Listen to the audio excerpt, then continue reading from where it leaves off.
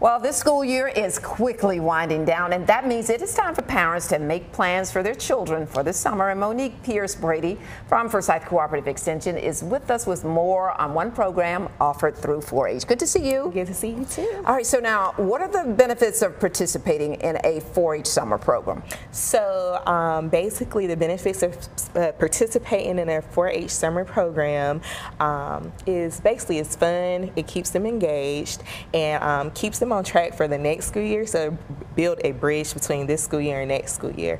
Um, research has found that students that are not engaged lose 2.6 um, months worth of knowledge. We can't have that. right? so it reverses everything that they learned throughout the school year. So we want our students to stay engaged. All right, so talk to us about some of the camps offered during the summer and what the children will gain. So this summer we're offering um, a few different camps. Uh, mm -hmm. We have Honeybee School for our younger ones. We have Chef and the Child. We have Tiny Town, which is an entrepreneurship program for kids to come in and learn about for a week.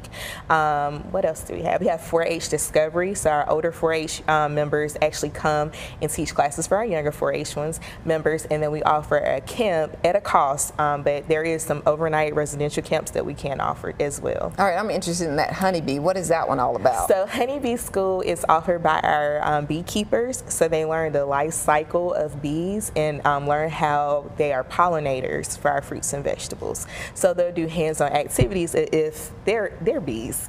Okay. so they have their own um, knowledge about it. All right, so now are there any particular requirements for participating in the 4-H summer camp? So we just ask that everyone um, complete their 4-H online um, application, which can be found at our website. Then we ask that they go online to register for the classes in a Google form and then submit payment. Is there a deadline?